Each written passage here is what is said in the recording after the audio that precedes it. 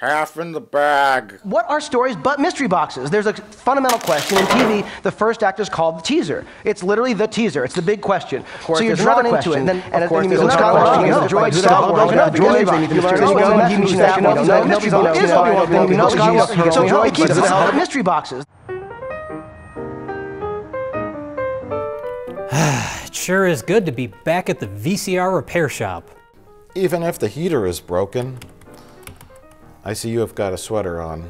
I have 15 layers on. I don't have any layers on because I'm covered in fat.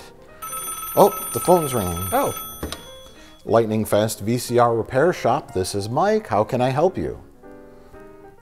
Oh, hi, Mr. Plinkett. How are you? Uh huh. Oh, sounds intriguing. what does he want? Hold on. It's Mr. Plinkett. He wants us to go on another wacky adventure.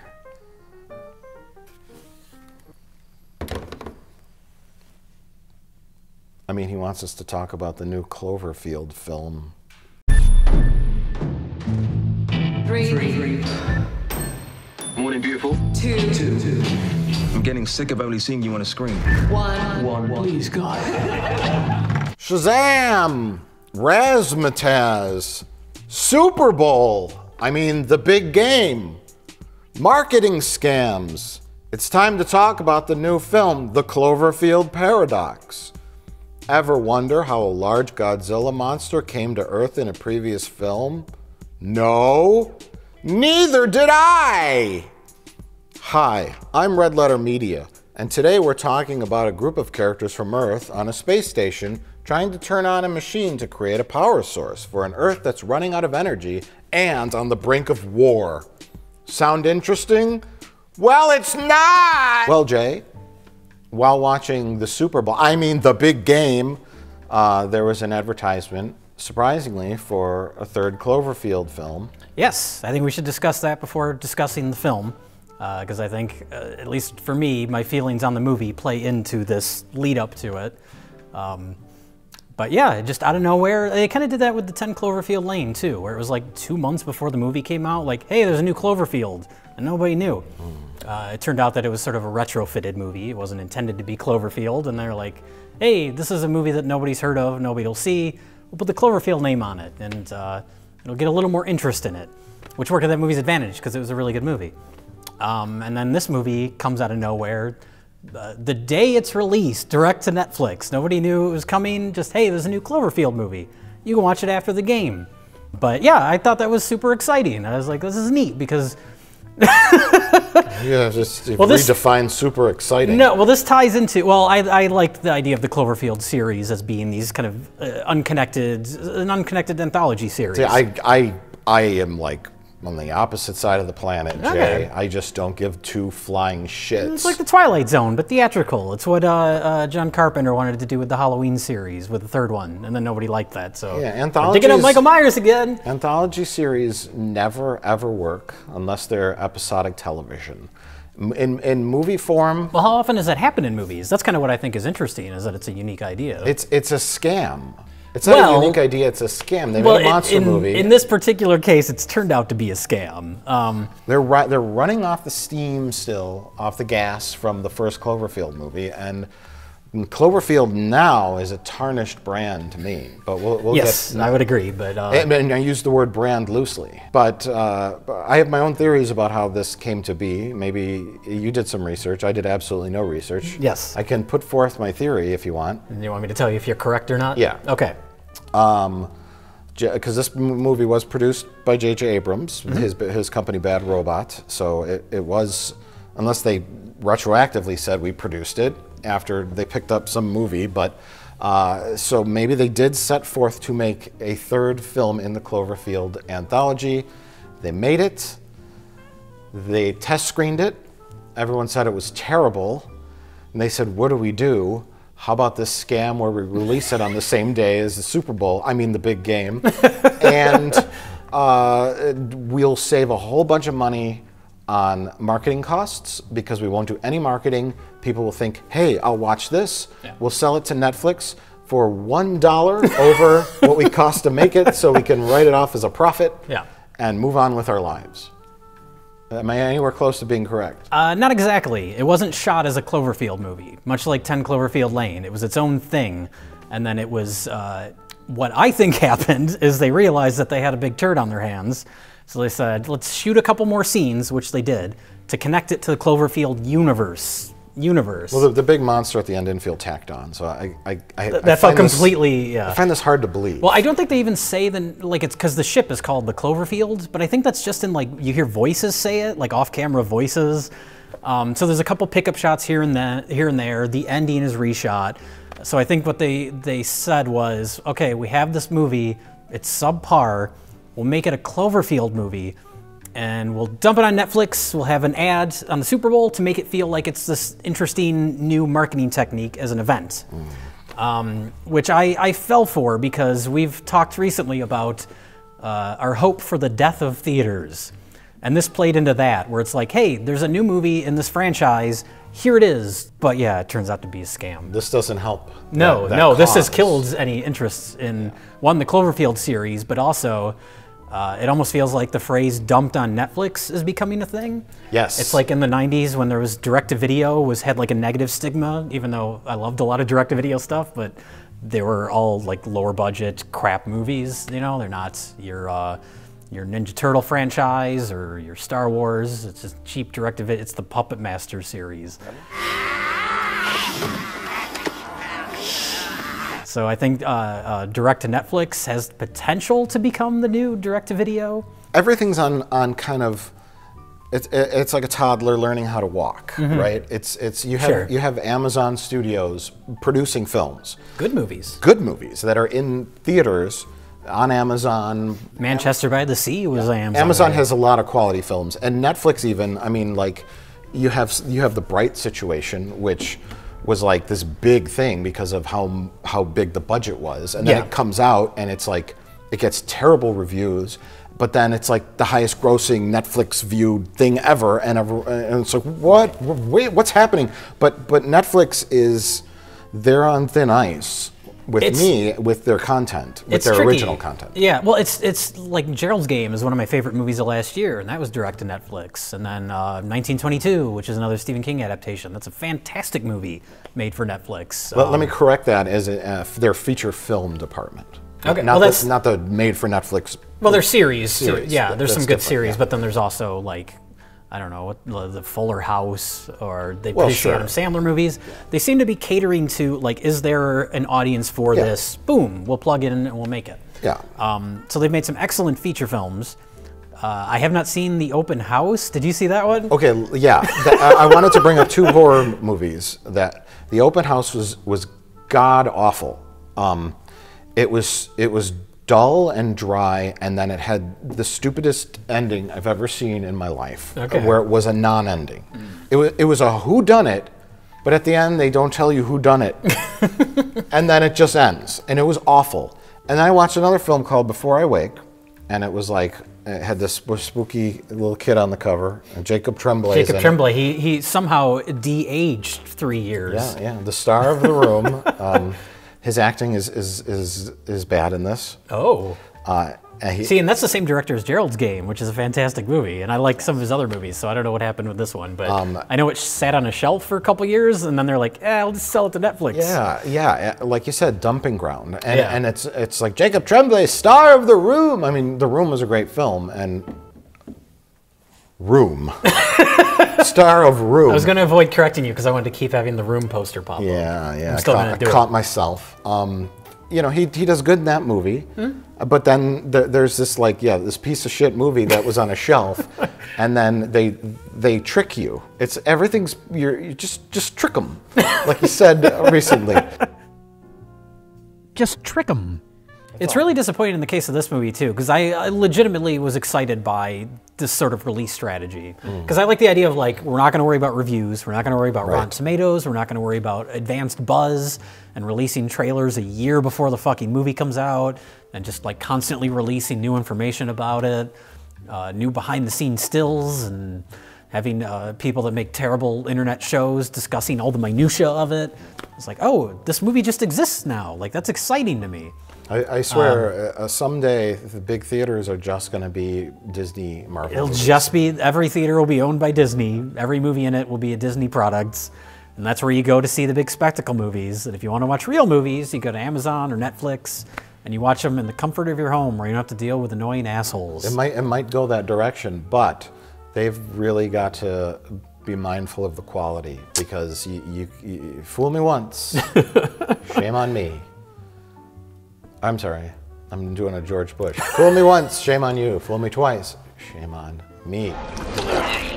We got this turd, we'll dump it direct to Netflix, and apparently there's a fourth Cloverfield movie that's coming out later this year that's going to be theatrical, which makes this one even more suspect. Where it's like, we got this movie, we've been working on it for a while, it sucks. Uh, we'll make it a Cloverfield movie, we'll dump it direct to Netflix, and we'll just move on. Let's get out of town quick. They're, they're running out with their bags, their suitcases full of money. It's like a carnival. it's just literally like a carnival. Um, Fingers crossed.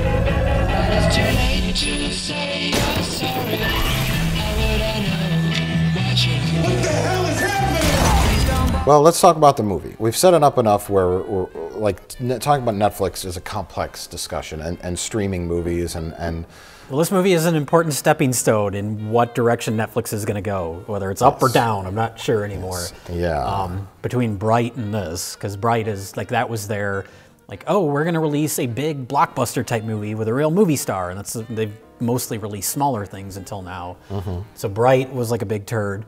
And then this movie, which is not only a bigger budget movie, but also part of an established franchise, a successful franchise. So it's like, oh, okay, this is interesting. They're going a different direction with this, doing the viral marketing thing like they kind of did with the other movies, but taking it up a notch. And then this is just like worse than Bright. cue slide whistle. uh, no, I haven't seen Bright, but but but what I mean by you, you're saying it's a turd, but it was successful for Netflix, which is Yes. which is odd because well, this will like probably be successful too. Yeah, yeah. There's little chunks Mm-hmm. of people that that r- remain and and I can see people watching this movie and kind of liking it because um, whoever wrote this. They, they had a the ink They did it by hand? They, Oh, they did it in calligraphy. Whoever wrote this said, "Here's a space movie, and it's going to be a thrill a minute, set pieces, weird shit happens. It'll keep you on the edge of your seat." Now, are you approaching it what they were doing originally before it became Cloverfield? Yeah, yeah. Okay. And then, um, I mean, Cloverfield just like, you need a monster at the end or something. That, that big monster. Big fat producer with a giant cigar. Yeah. Well, you need a monster at the end, and then we can call it Cloverfield. Put a monster at the end. Um, so, so the, uh, uh, the, then whoever wrote it in calligraphy said, uh, we just need a bunch of weird, crazy shit to happen. Uh, and then someone says, well, what, does it make any sense? No. A parallel universe. Thing! It doesn't matter if it makes sense. It's in a parallel universe. Why does this guy's arm get cut off and then have a mind of its own and, and is trying to tell them things? That's the one weird thing that happens in the identical parallel universe, Jay. that if you have a, a, an amputated limb, it moves on its own. Think my arm's trying to write something. That's the only thing. Everything else is the same. It's just, just that one thing. uh, so premise is uh, the Earth is on the brink of war, and and and correct me if I'm wrong. The the spoilers. The very end of the film, we reveal that that whatever the scientists did created the, the monster from Cloverfield, right? Possibly. Okay, because I remember the opening of Cloverfield was like hipsters at a party mm-hmm. in New York or something, and there was no mention of world war breaking out. It was just No. monster appears.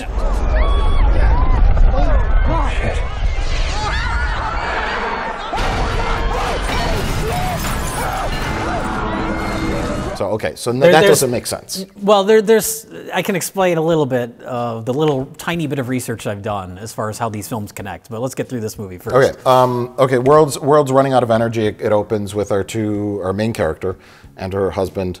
Uh, they're they're waiting for gas. So uh, the, you know, there's an energy crisis, and so the the idea is that a bunch of smart scientists and crew members will go up to this this newly built space station um, called the Cloverfield Station. Uh, but really, it's called Shepherd, the Shepherd, because that's what the name of the machine is. and uh, that's all. That's why I was getting confused. That's why the voiceover just says it's called the Cloverfield. We swear. But the, the, the atom smashing machine that creates energy is called the, the Shepherd. Uh, so they go up there, and, and basically, it's like um, what do they call it? A, a, a hadron collider? Or the, it's a, th- there's, there's, there's, there's a giant one in Illinois at a place called Fermi Lab. I think it's like, like miles long. It's a big circle, and they shoot like particles around it, like almost the speed of light. They hit each other, and I think they do something when that happens. They create energy, or It opens a parallel universe that makes arms move on their own. I think I think when they, they collide, they make like like a piece of uh, antimatter for like one trillionth of a second. They're saying like when they smash the atoms together at such a speed, it's possible to create a tiny black hole. Yeah. Which was the premise for Space Cop, if you recall. I don't recall the plot for Space Cop. Uh, of course, the ex- the, the uh, uh, experiment goes wrong, and then they appear uh, on the other side of the sun for no reason. That they can't find? Aren't they like the Earth, Earth's gone, and they don't think to look around anything else around them? Well, they're really far away. I guess. And I guess they can't read constellations as being smart scientists. They're quality scientists. Yeah. Well, they had they have uh, their MacGuffin is is a gyroscope magic thing. Oh, yeah. That helps the ship think and do computer stuff. So, eh, eh. They're they're physicists. They're technicians. Maybe they're not space explorers. I don't know. That's fine. Whatever.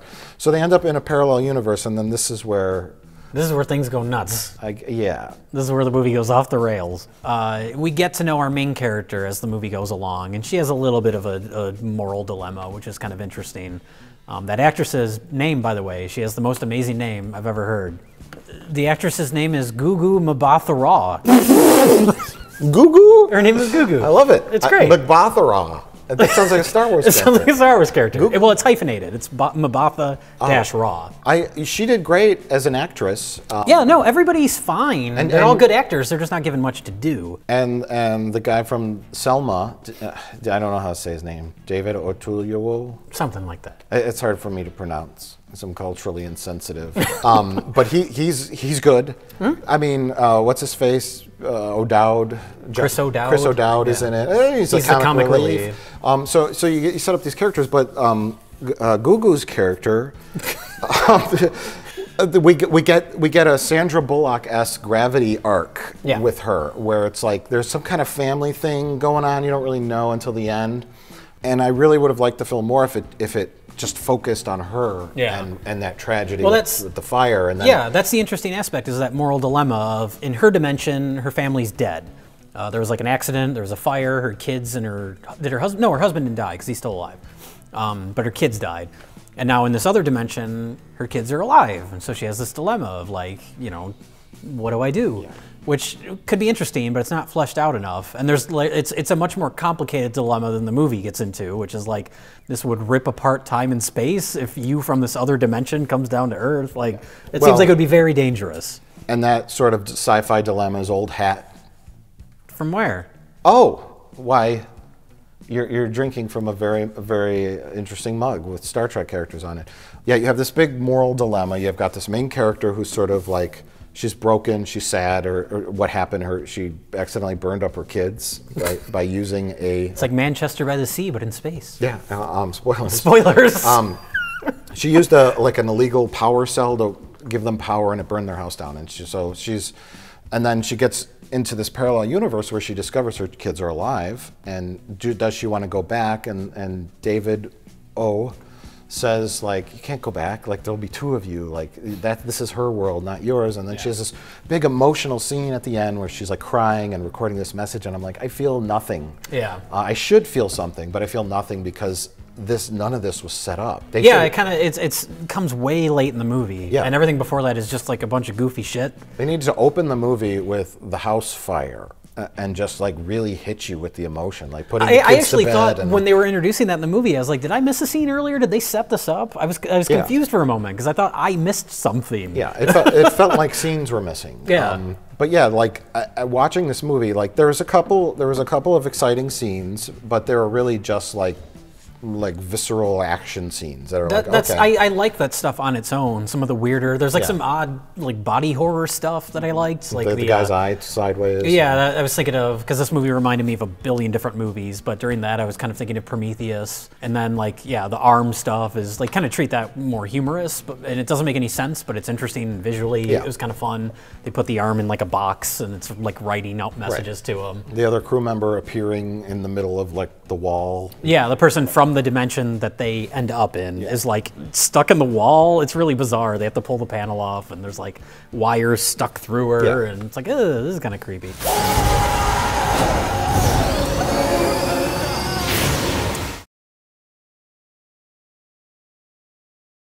But you mentioned the moral dilemma with her going back and like her kids are alive in this dimension. This this whole premise reminded me of an episode of, St- of Star Trek Voyager. Okay. Uh, uh, uh, and I won't be annoying about this. One of my favorite episodes from season two. it's called Deadlock. Bloodlock? Deadlock. Oh. The Star Trek Voyager goes into it's hiding in a space cloud, and electricity and some sort of weird weird spatial anomaly uh, duplicates the ship. They share the same engine, but two levels of reality exist on top of one another. Oh, so it opens in the beginning. The one of the crew members, I forget her name, she's having a baby. There's a baby born on Voyager that grows up into a little girl. Little bumps on her head. Forget the name. It's like something with a K. I can't remember. The baby. Is it, is it Goo Goo? It's it's cuckoo. the baby's born, right? The baby's born, and then and then it dies, and so they're like, "Sorry, your baby died." And then at some point, Harry Kim gets blown out into space, Oh my god. and they're like, "Harry Kim's dead. He's blown out into space." And then after a while, they realize. You, the Voyager that you're following, their ship keeps like damaging excel, itself and blowing up, and they're like, "Why is everything not working right?" And then they figure out that there's another Voyager on top of them, existing in the exact same space. That's all right. Hmm. And so at the very end, they're like, listen, we got to blow up one of these Voyagers in order for anyone to live. And so they blow up the one that we started with, hmm. which is weird. But they're like, before we blow it up, we found a little rift in the space. We're going to send Harry Kim and the baby over since they died in your universe. And then they blow up the other Voyager. so the Harry Kim from season two on is, is it's like an alternate universe. it's an alternate Okay. universe Harry Kim, and I've, I've always loved that episode, and it's because it's so like. Um, you, they figure out a way to talk to each other on the view screen, so it's like this Janeway's talking to that Janeway, Yeah. like, "Hi, you know, you're you, we, we one of us has to blow up." Like, and, and it's it the whole episode. There's no like obviously there's no big like exciting set pieces and action because it's just a little TV show. Right. The whole thing's set on like the the working the problem out and the moral dilemma and almost immediately you kind of understand what the problem is. Yeah. And so it's working to solve the problem mixed with the moral dilemma and solution. Well, and that's what you were just describing is like 10 Cloverfield Lane until the tacked on J.J. Abrams' big monster ending. But like 90% of that movie is them in the bunker and it was characters and it was moral dilemma That's stuff. that's a whole different thing. and that's it's it's that's what was disappointing about this movie was after 10 Cloverfield Lane where it's like, "Oh, this is what this series is going to be." Like, great. Like almost like theatrical Black Mirror episodes or something. the the idea also of the Earth on the brink of war and scientists in space trying to uh, start up this power generating machine and, and the trials and tribulations of that. Yeah. That's interesting to me. And because they're like, Oh, yeah, Russia's they- going to invade, you know, and I'm like, hey, this is weird. When they were talking about the Earth, I was hoping we would go down there Yeah. more, but instead we go down there to see Gugu's husband, who finds a little kid, and then that goes nowhere. That entire storyline, like what happened to that little kid? her parents texted thanks. Don't you remember? Who the fuck cares? Yeah, exactly. That Well- felt like it, like that was added in to make it more Cloverfield. So we keep cutting back to Earth, and there's like, yeah, he he, he gets out of his car at one point, and you see like a city in ruins, and you see a shadow of the monster, and you're like, oh, okay, it's the Cloverfield monster. well, also they had that little bit where they're they're the crackpot on the news, like whose last name was the same as John Goodman's last name oh. in Clover, 10 Cloverfield Lane, but it's obviously not the same character. But he's like, yeah, if we open up a, a, a dimensional rift, monsters can come through. Like a Cloverfield monster. and you're like, oh, is that going to happen? Yeah. maybe that will happen. Well, that's that's from what I understand. That's supposed to be the explanation for the way any of these movies connect. Is when they're in space and they open up that rift, it basically created all these different alternate dimensions. So like the first Cloverfield movie is one, the second Cl- 10 Cloverfield Lane is a different, and then this is the third. Even though the third one takes place 30 years after the first two happened. But when you open a rift, it it can be a rift through time and space. So the monsters can fall through, but they can fall through into a different time. This sounds like Lost. It's well, that's exactly what I was thinking. It's like, oh, we're we're setting up all these things that is just a bunch of nonsense and it'll be a waste of time, just like six seasons of Lost. Which is why 10 Cloverfield Lane, like, you don't need any of this information, and the movie works just fine as its own, as like a doomsday movie. There, there, there's this movie doesn't know what it wants to be. There's, mm-hmm. there's ten. We could list anything from Event Horizon, Solaris. Uh, I, I was going to ask you. I haven't seen Event Horizon in a very long time, but when I was watching this, I was getting flashbacks to it. Yeah. Isn't it the same thing? They travel through a wormhole or something, The Event they end up in a Horizon- Hellraiser world. Yeah, I think I think it had a, some kind of star drive that like folded time and space, like a warp drive almost. But then it opened up a rift to hell. I think something, Something like. like- okay. I, I haven't seen it in a long time, but uh, similar concept. You know, space horror, which Yeah, I don't think Alien, some Prometheus. I don't think space horror has worked since 1979. has it? We, we never get that like that alien scene where they're all eating dinner together, and you know, like we get. That's why Alien characters. works so well as a space horror movie because they just feel like, I mean, they're space truckers. They just feel like people hanging out doing their job. And scientists can feel like people hanging out doing their job, but you need to have them have personalities and characters. Sure. This is, I think this really was just, it, it was a circus that came to town and said, look at the attractions. Attraction one is the lady appears in a wall screaming. Attraction two is uh, uh, guy's eye moves and Oh, and then he vomits up fly- worms, Yeah, yeah. worms fly out. And then the attraction three, a Chinese lady caught in, in, a, fro- in a water tank. Attraction four, the spinning spaceship. Come see the spinning spaceship. Isn't- oh, Aren't all these scenes exciting? Well, they And then you wow them at the ending with a, a shocker climax Yeah, that we didn't expect. that we didn't expect. Even though they told us six times it was, it was coming. I do, I do gotta say that last shot kind of gave me the chills, even though it didn't make any sense. Did Just- it eat their little spaceship? No, you just see the spaceship go down into the clouds. And it must have been like I don't know, like the this, the dimension of it like creeped me out. Like goes down in the clouds and it's super tiny, and then like Yeah. a giant version of the Cloverfield monster pops up, and it's just like, ooh, that thing's so huge, it's scary. Oh, yeah. Well, But it just- doesn't make any sense, and who cares? It should have just came up into space.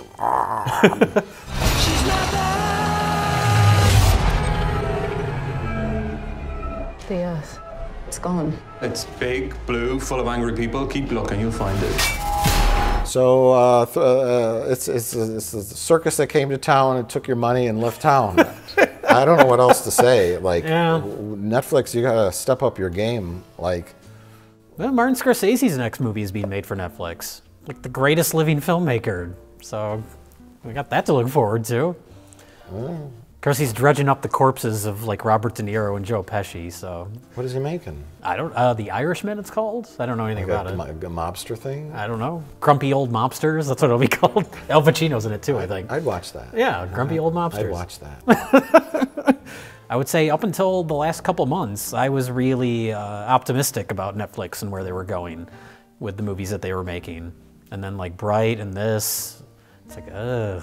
It, it, it- it's it's like it's like like cutting your heroin with like like like sawdust. You know what I mean? like you, you want good stuff. You want the high quality heroin. Yeah. And you're like you get tricked. I'm surprised that Winchester movie wasn't direct to Netflix. That somehow got a theatrical release. Well, that's the thing too. Is that should have been direct to Netflix. They could have sold that Winchester movie to Netflix, and it wouldn't have gotten the 13% Rotten Tomato score. Like that's the harbinger of doom. The good thing about streaming is you could turn something on, watch it for 10 minutes, and shut it off if you don't like it, as opposed to going and paying in, in a theater. Well, one, one, yeah, one positive of this uh, Cloverfield uh, paradox. What's it called? Cloverfield paradox. Um, I was watching it late at night, and I got so fucking bored I fell asleep. But then I could just wake up the next morning and finish it. If I had fallen asleep in the theater, I would have had to buy another goddamn ticket. Yeah, that's right. The police would have taken you out. Sir, you can't sleep here. So it's good that the value of movies is going down. Yeah. Who knows where it's gonna go? It's a very complicated model uh, right now that we're dealing with, and not just Netflix, but the theater system. As long as there are writers out there writing quality scripts, we'll be okay, but there are not.